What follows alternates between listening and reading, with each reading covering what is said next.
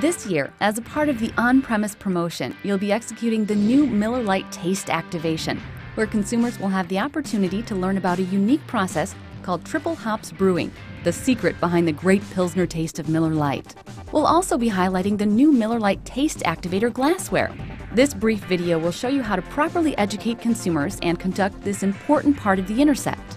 Before we get started, you should know that this portion of the intercept does not involve a taste comparison with a competing brand. When you approach consumers, you'll first inform them about triple hops brewing, the secret behind the great Pilsner taste of Miller Lite. Using these three cards, explain how the hops are added at three separate times in the brewing process. Turn over the card as you explain each step. In step one, hops are added for a crisp Pilsner flavor and aroma. In step two, the hops are added for balance to give it just the right amount of body. And in step three, the hops are added to lock in that great Pilsner taste which enhances the foamy head. You'll notice that as the cards are turned over, it will reveal an image of a great tasting Miller Lite.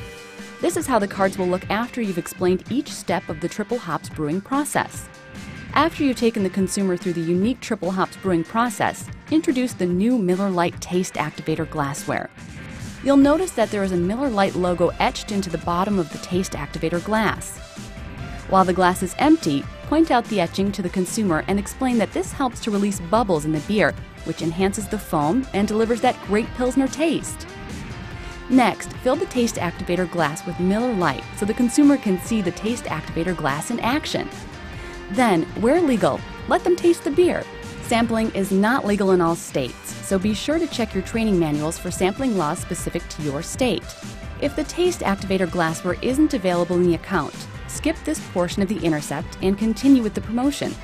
But remember, all consumers should be informed of the triple hops brewing process.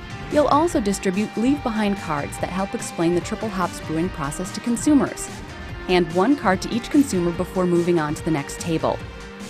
If you have questions about the Miller Lite taste activation, remember to review your training manual or talk to the appropriate contact in your market area. That's it. You're ready to go out and educate consumers about the Miller Lite triple hops brewing process and the innovative taste activator glassware.